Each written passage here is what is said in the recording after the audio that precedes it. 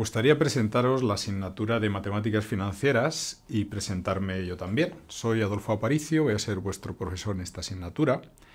Y aquí lo que vamos a ver es un enfoque hacia el tema de finanzas desde el punto de vista cuantitativo. Esto es, vamos a centrarnos en la valoración financiera.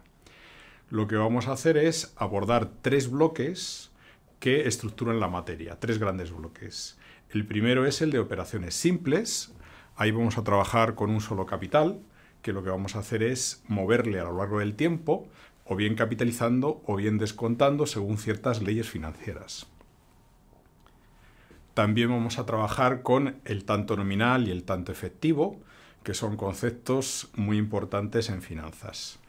Y aplicaremos al caso de las letras del tesoro, que es un activo de renta fija a corto plazo que se utiliza en todos los países con un sistema financiero desarrollado. El bloque 2 es el bloque de rentas. Ahí ya no vamos a trabajar con un capital, sino con un conjunto de capitales que vamos a mover o bien a su valor actual, al inicio, o bien a su valor final. También hablaremos del BAN y de la TIR, del valor actual neto y de la tasa interna de retorno, que nos van a permitir comparar inversiones y ver cuál es más interesante. El tercer bloque, y el más importante de la asignatura, es el que se centra en el tema de los préstamos, veremos sistemas de amortización con pagos constantes, a tipo variable y otros muchos tipos que nos van a permitir amortizar ese tipo de préstamos.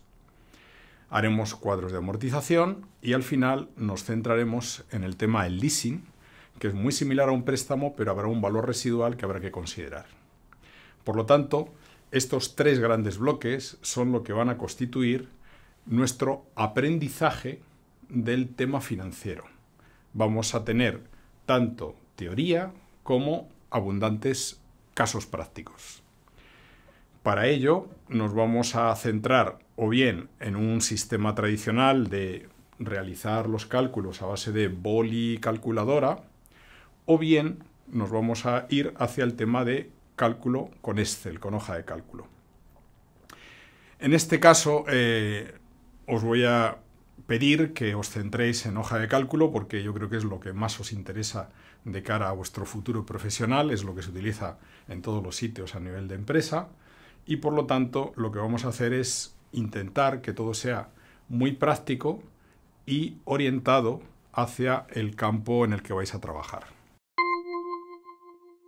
Los recursos con los que contamos son, por un lado, un clásico manual de finanzas que se denomina Cálculo Financiero, Teoría de Ejercicios, que es de la editorial Paraninfo, y sobre todo nos vamos a centrar en un blog que se denomina masterfinanciero.es. En este blog tendréis tanto la teoría como los casos desarrollados, con cientos de ejercicios, imágenes, hojas de cálculo, vídeos, audios, etc. Por otro lado, también contamos con un blog de apoyo para el tema de Excel que se llama estelavanzado.com. La metodología que vamos a utilizar se centra o bien en la resolución clásica con boli, papel y calculadora, o bien orientada a hoja de cálculo con Excel. También vamos a utilizar medios escaneados, esto es pues la típica resolución a boli que se pasa por un escáner. Vamos a utilizar también fotos de pizarra de las aulas que se da a la clase presencial, o bien, sobre todo, vídeos de YouTube, que quizás es lo más interesante, y audios, audios que en muchos casos están tomados directamente de una clase presencial. Para la evaluación lo que tenemos es una serie de prácticas, son abundantes y hay que hacer bastantes ejercicios. Luego tenemos una serie de exámenes parciales, uno por cada bloque, y también al final tenemos en la fecha que la universidad determine, un examen final. La comunicación pretendemos que sea fluida, será a través del aula virtual, utilizando el foro que se establece, el correo del aula virtual con el profesor y una parte muy importante es utilizar los comentarios del blog. Puesto que tenemos en el blog todos los apartados teóricos desarrollados y todos los ejercicios prácticos resueltos, al final de cada post se encuentra el apartado de comentarios, donde ahí podéis preguntar vuestra duda y o bien otro compañero puede interactuar o bien el profesor os puede responder. La idea es que la asignatura resulte formativa y que os forme tanto en el campo de las finanzas como en el campo de la hoja de cálculo, que sepáis manejaros a un nivel moderno para luego poder desarrollar vuestra actividad profesional. Para ello lo que hacemos es incidir mucho en las prácticas y se trata de que sea útil para vuestra vida personal y para vuestro proyecto profesional.